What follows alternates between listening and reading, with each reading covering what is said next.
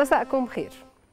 أهلا بيكم في التاسعة وأعتقد إنه بعد أسبوع من رمضان 2022 آه، يمكن معالم كتير اتضحت في الأسبوع الرمضاني. الأول منها اعتدال الجو شوية حاجات ظريفة كده وهدوء واستقرار عام.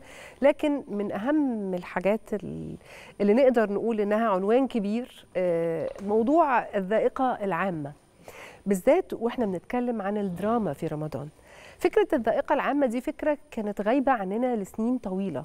تحديدا من وقت اللي فينا لحقوا وتابعوا وعاشوا وتربوا على دراما أسامة أنور عكاشة والزمن ده وفكرة أنه المصريين كلهم يسمعوا نفس الحواديت والحكايات المبادئ اللي كانت مصر كلها بتتكلم عنها من خلال مسلسل أو عمل درامي. نقول أنه الذائقة العامة دي بترجع لنا مرة تانية بواحد من أهم المسلسلات السنة دي. المسلسل اللي على مدى ثلاث سنوات قدر أنه يعمل الحركة دي يوحد الذائقة العامة. يجمع المصريين أنهم في وقت واحد يشوفوا حاجة واحدة ويتأثروا وينفعلوا بعقيدة واحدة. يمكن مسلسل الاختيار واحد واثنين كان مودينا معاه في السكة دي لأنه فتح عينينا على حقائق أعتقد أنه معظمنا ما كناش متخيلين تفاصيلها بالشكل ده. قصص شهدائنا وبطولاتهم كنا نعرفها لكن ما كناش نعرف تفاصيلها. الاختيار السنة دي أو القرار يمكن رجعنا نفتكر تفاصيل إحنا كنا وكنا وما زلنا جزء منها. عشان كده أنا شخصيا بعتقد إنه الاختيار السنة دي من أصعب التحديات ومن أصعب الأجزاء في الاختيار. صعب طبعا لأنه بيخليك تشوف الصورة الكبيرة اللي أنت عشتها. وتمتحن التحديات من زاوية تانية. بيخلينا بلا شك كلنا كمصريين نمتن لربنا اولا ولكل شخص كان ليه دور في استرداد الوطن اللي اتخطف. بلدنا اللي اتخطفت لك محدش ابدا قدر إنه يهينها. بلدنا اللي نقدر نقول إنها في لحظات معينة اتسرقت لكن محدش قدر يمتلكها. السنة دي الاختيار صعب. صعب لأنه هيزعل الكارهين لأنه في طول الوقت ناس كارهنا وكارهين لنا الخير ولسه موجودين لسه مستخبين وسطينا. صعب لأنه هيصحي جواهم إحساس حقيقي بأنهم اتهزموا فهيحاولوا تاني. وده بيحصل وهيفشلوا تاني. إحنا متأكدين كده إنه آه لو الدولة كانت في الاختيار أو اللي إحنا بنشوفناه على الحقيقة مش في المسلسل لكن في الواقع. لو كانت الدولة كانت اختارت إنها تتعامل مع شوية المرتزقة اللي كانوا موجودين في الشوارع اللي كانوا بيتحركوا في الشارع بس وكانت ثابت رؤوس الأفاعي. كنا زماننا لسه في نفس الفوضى. كنا هنفضل سنين وما كناش هنخلص. كان اختيار كان بيقول لنا إجابة مهمة جدا. أعتقد إنها مهمة لينا حتى في التعامل مع كل محاولاتهم لتفشيلنا. إنه الإجابة هي دولة القانون. إنك تحيي وتقيم دولة حقيقي مبنية على القانون. والاختيار بيقول لك كمان إنه الإجابة هي تجفيف المنابع إنك ما بتتعاملش مع اللي في الشارع ما بتتعاملش مع المؤذي والإرهابي ورغم إنك بتتعامل معاه طبعا لكن أنت بتدور طول الوقت على أصل المشكلة. عشان كده بعتقد إنه في كل مرة يحصل فيها مقاومة من الباقيين من الغاضبين من اللي زعلانين من اختيارنا ايا كانت أساميهم.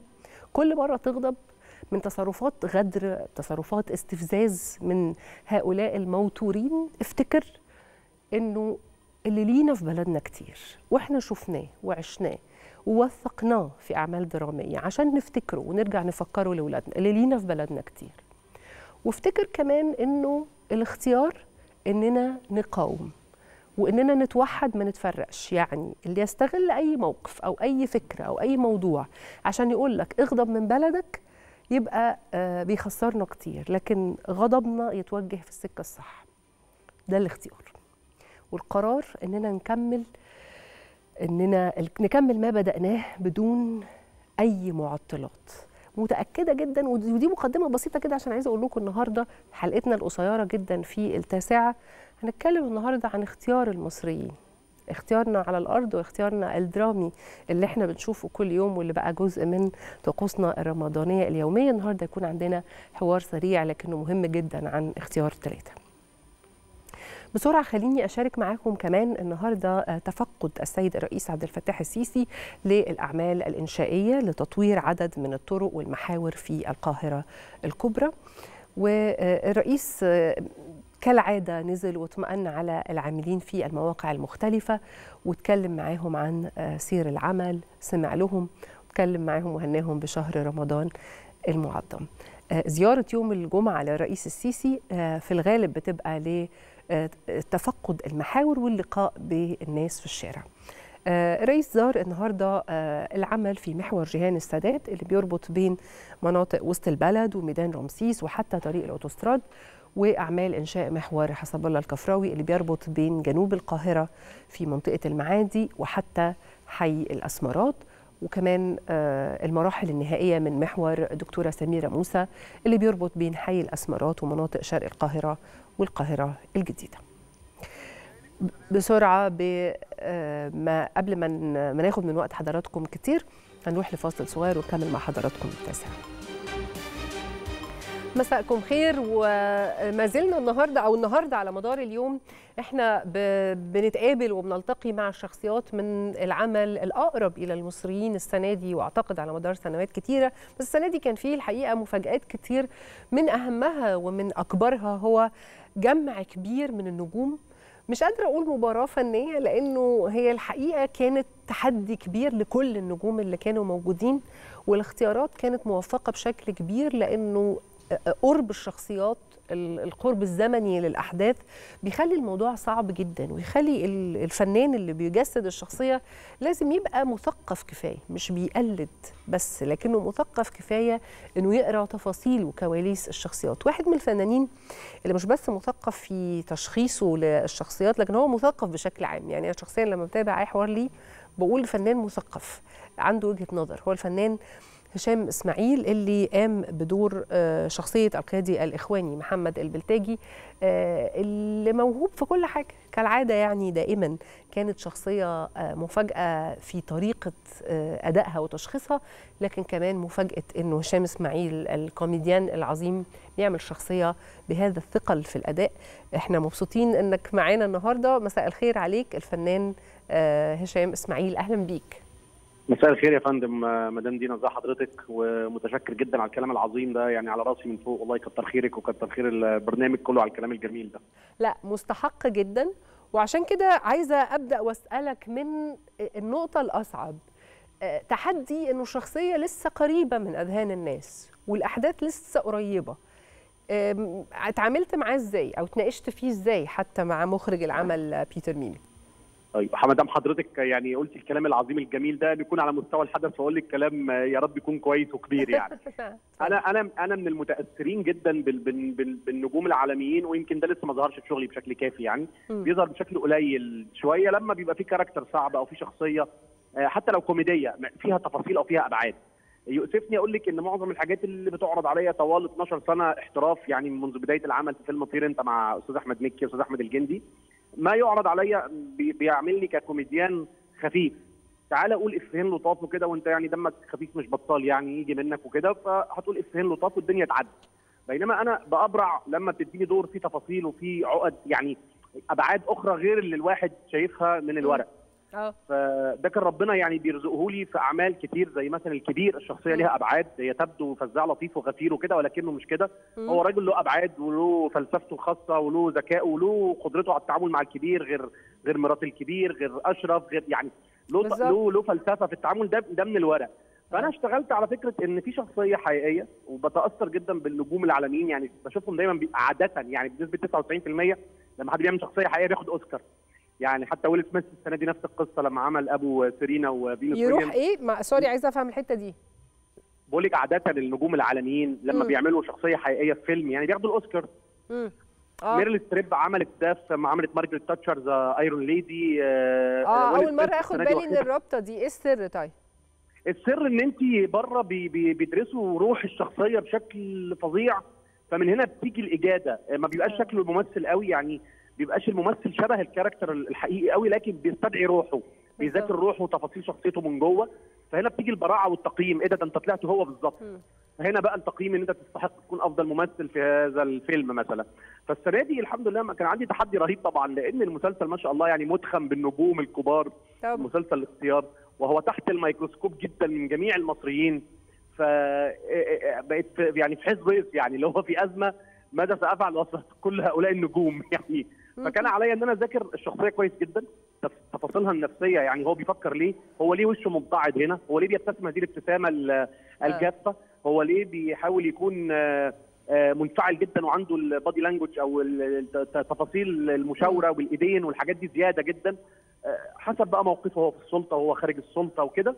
عملت ده وذاكرته وتوكلت على الله. بالإضافة لإن أنا عندي حظ كويس يعني في الدور آه، إن ال- الشخصية نفسها ليها فيديوهات كتير. قد يكون بعض الشخصيات الأخرى في المسلسل ما لهمش data أو reference يرجعوا له. فاهماني حضرتك؟ آه. آه مجرد صور أو أخبار عنهم.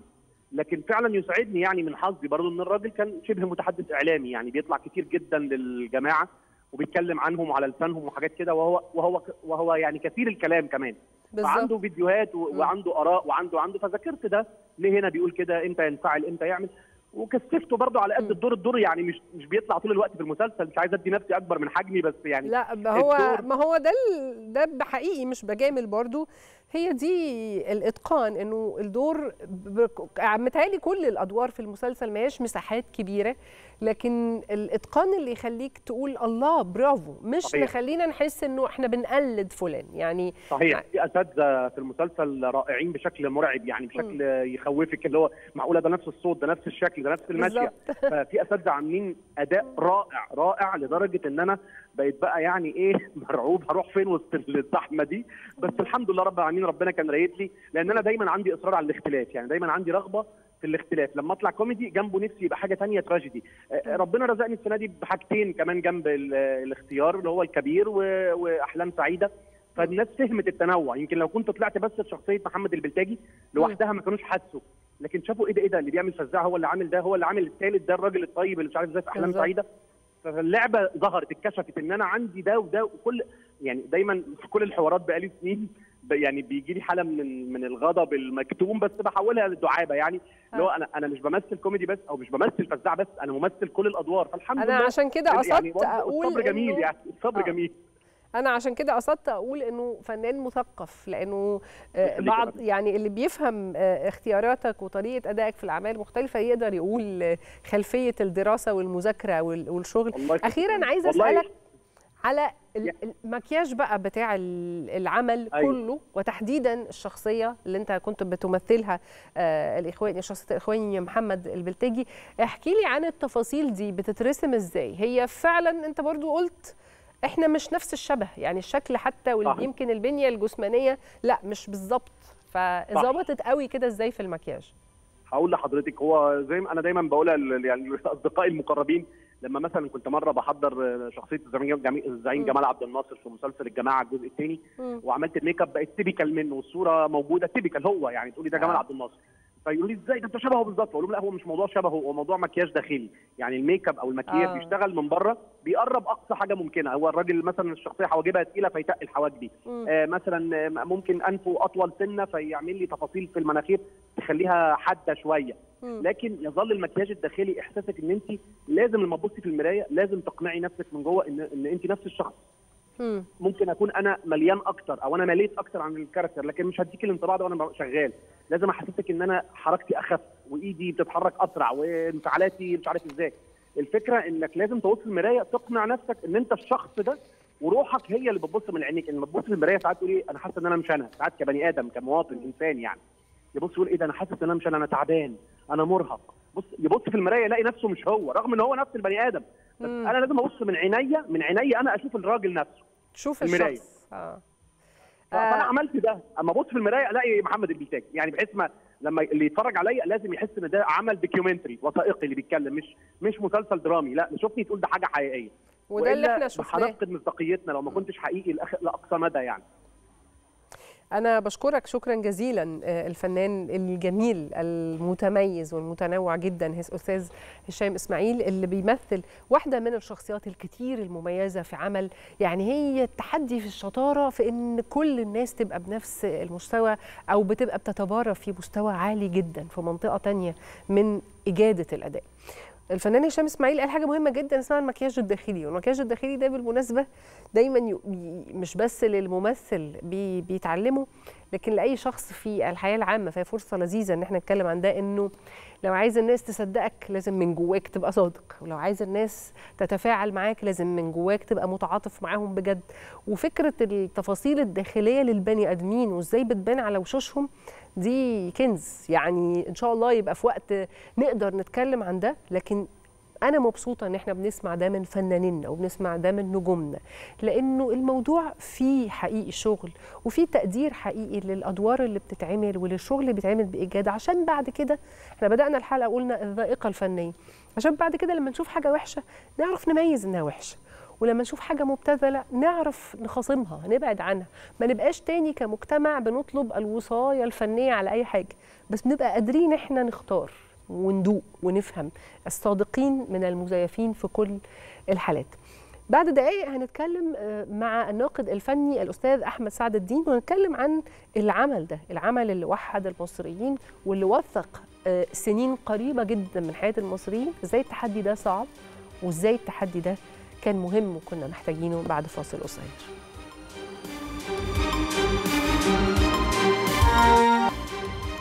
حلقات رمضان قصيرة وسريعة لكن مش هنقدر نقاوم إحساسنا إننا عايزين نسأل شوية أسئلة لناس فاهمين في الصناعة وفي النقد الفني عشان نقول الانتقادات والإشادات الشديدة بأي عمل فني ووضعها إيه من الإعراب. الاختيار الثالثه واخد النصيب الأكبر من الإشادات لكن كمان في أسئلة تخص إنه هو ده التوقيت هو كان المفروض نعمل كده ولا لأ؟ بس خلونا نسأل ونرحب الأول في البداية بضيفنا الناقد الفني الأستاذ أحمد سعد الدين الناقد الفني بالأهرام. أهلا بيك أستاذ. أهلا وسهلا سنة وأنت بألف خير. وأنت طيبة وكل المشاهدين بخير. في الأول على طول هسأل حضرتك عن فكرة إنه الوطن العربي العمل الأعلى مشاهدة في الوطن العربي هو عمل يخص أحداث مصرية داخلية تفاصيل تخصنا الماتش اللي إحنا كنا فيه كل حاجة أحداث مصر المصيريه ده سلاح ذو حدين ولا ده قوة ناعمة عظيمة؟ ما تنسيش حاجة أساسية مم. مركز الثقل في المنطقة العربية هو مصر طبعا. وما يحدث في مصر على طول بيسمع في كل الأقطار العربية. والاختيار تحديدا بيناقش فترة صعبة جدا في تاريخ مصر وتاريخ الوطن العربي. فمن هنا كل الناس عاشت الفترة دي لأنها قريبة إحنا بنتكلم في سبع ثمان سنين لكن إحنا شفنا جزء من الصورة على الشاشة طبعا. وإحنا. بنتابع الأحداث آه لما كانت خبر يعني لما كانت آه. خبر الأهم بقى إزاي نشوف الكواليس. فمن هنا. بيبقى التركيز على هذا المسلسل في المشاهدة بياخد أعلى مشاهدة آه دي مفاجأة إنه مش بس مصر لكن الوطن الوطن العربي, العربي بياخد أعلى مشاهدة وكمان إيه الناس قاعدة آه أنا حضرت الموضوع ده آه آه. آه التفجير ده حصل جنبي آه مش عارف مين آه المظاهرة دي عدت من قدامي بالزبط. أنا كنت آه أنا فيها كنت هنا. أنا كنت فمن هنا أهمية هذا الحدث إن 80 أو 90% من المشاهدين عاشوا صوت وصورة وأحداث هذا المسلسل واللي ما حضرهاش لايف كده على يعني حضرها جوه الميدان والشوارع والحاجات دي حضرها على الأقل عن طريق الشاشة حتى في الوطن العربي. وبالتالي الزاوية الثانية دي مهمة دي موجودة بشكل كبير جدا. على هذا الأساس ده يفسر لنا إن الاختيار واخد أعلى نسبة مشاهدة مش النهارده على مدار الثلاث أجزاء بالظبط. الجزئين اللي فاتوا والجزء طيب الجزئين اللي فاتوا كان لا خلاف إننا متوحدين مع حالة إنسانية قيمة مع فكرة الاستشهاد والشهداء وفكرة التضحيات. يعني هو الموضوع ما كان لا خلاف عليه. النهارده وإحنا بنوثق مرحلة قريبة جدا وبنوثق بشخصيات عايشة موجودة بينا حضرتك ما كنتش شايف مثلا قبل ما تبدأ حتى أحداث المسلسل انه ده خطر جدا؟ يعني كنت شايف مع الآراء اللي بتقول لا ما بلاش نوثق أحداث والناس لسه موجودين معانا. في حاجة جميلة جدا. م. إحنا بنتكلم على جزئين فاتوا كان فيهم دراما وفيهم آه. شخصيات موجودة في الحقيقة ولكن ليها حياة. آه. آه، توحدنا معاها وشفنا ما يحدث. ولكن الجزء الثالث ال documentary فيه أعلى. جدا. التوثيق آه. للحدث أعلى وهو تصنيف ال ال الاختيار ثلاثة docudrama docudrama docu drama يعني مم. documentary مم. أكتر كمان من الدراما نعم. وده اللي مخلي نسبة المشاهدة كمان أعلى من الأجزاء اللي فاتت ليه؟ لأنها فيها صوت وصورة لشخصيات حقيقية أثرت في تاريخ مصر بالسلب وبالإيجاب آه. الاثنين فمن هنا إحنا بنتكلم على سبع ثمان سنين السبع ثمان سنين هل هم مدة كافية إن أنا أظهر الحقائق؟ بعض الدول في الحروب تحديدا بتعمل 15 سنة و10 سنين و30 سنة زي إنجلترا. ولكن إحنا بنتكلم على أحداث إحنا حضرناها. ليه لأ؟ طالما فيها توثيق ودوكيومنتري صوت وصورة ليه ما طلعهاش للحقيقة؟ وده جزء مهم جدا من دور الدراما. ليه؟ لأن هتسمعي كلام كتيرة جدا وهتسمعي تشكيك كتير جدا. طب تعالى يا عم. تعالى أنا هوريك الصوت. الصوت والصورة. بالوثائقي اللي عندي. الوثائقي اللي عندي. شكك فيه بقى. آه. يعني أنت لما بتشكك إن أنا كاتب حاجة غلط طب قول لي الصوت والصورة بتاعت الناس دي وهم بيتكلموا بيتكلموا إزاي؟ هل أنا زورتها. آه. ما هنا التوثيق لا وقرب الاحداث من شغل الدراما. مخلي مفيش تشكيك على قد ما في انبهار بالتفاصيل العميقة بقى اللي إحنا ما كناش شفناها. ما هي دي بقى بمناسبة جمهور. التفاصيل العميقة ودلوقتي شخصية الفنان ياسر جلال اللي بيأدي شخصية الرئيس عبد الفتاح السيسي. شايفة إنها جرأة من الاتنين؟ من الفن إنه يطرح شخصية الرئيس عبد الفتاح السيسي وهو ربنا يديله الصحة وطولة العمر ما زال في آه، السلطة. و- وجرأة من الرئيس نفسه إنه يوافق على حاجة شبه كده. شفت إنها عاملة إزاي؟ لو جينا نتكلم على النقطة دي تحديدا. نلاقيها لأول مرة. آه. في العالم العربي والعالم الثالث بالكامل آه. إن في عمل درامي يناقش ويجيب صور شخصية رئيس جمهورية صوت وصورة من لحم ودم. بالظبط.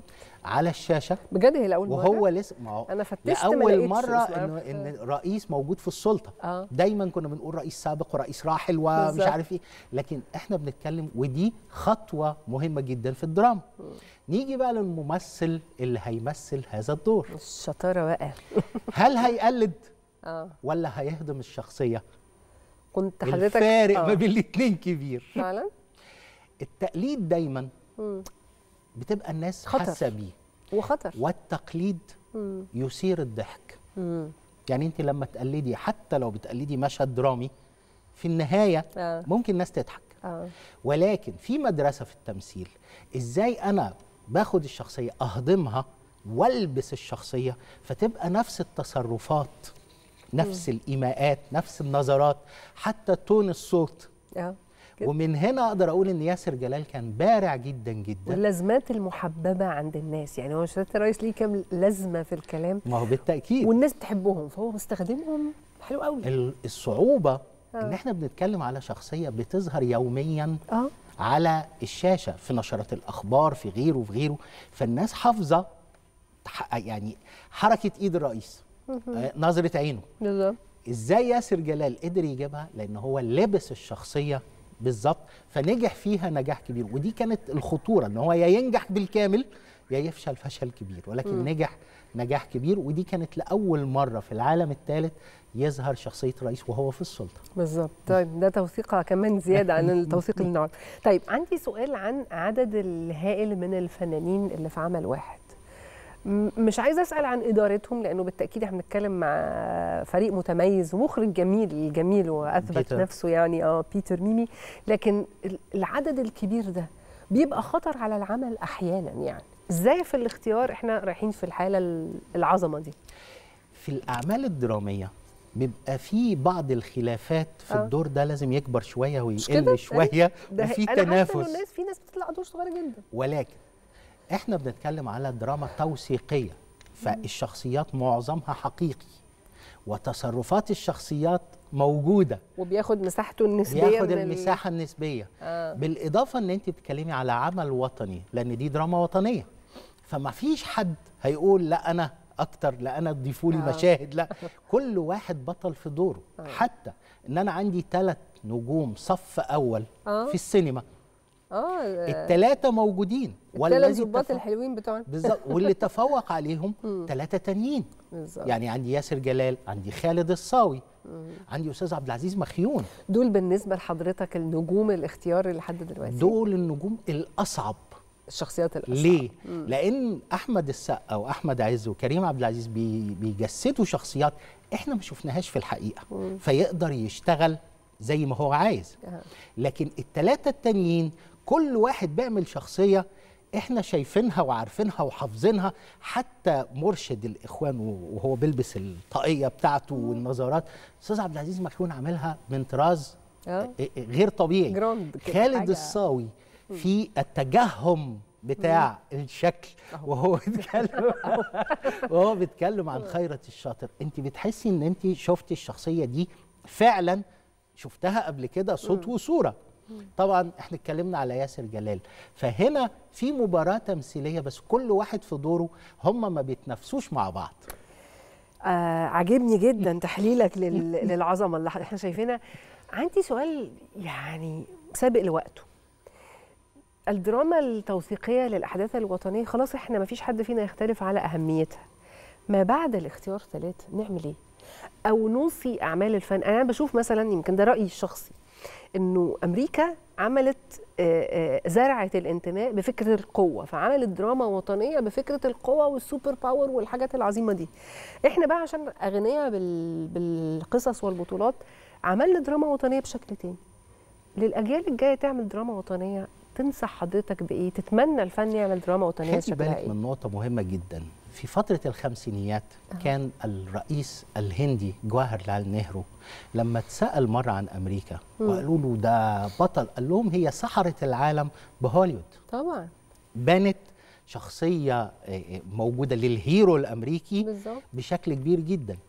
إحنا عندنا لو جينا نبص ورانا كده السنين اللي فاتوا من دموع في عيون وقحة ثم رأفت الهجان. ثم حتى الآن إلى الاختيار هنلاقي إن هذه الأعمال البطولات الحقيقية بتزيد عند الشباب روح دي مش الوطنية. مصنوعة بقى دي موثقة لا بس. دي مش مصنوعة آه. دي موثقة.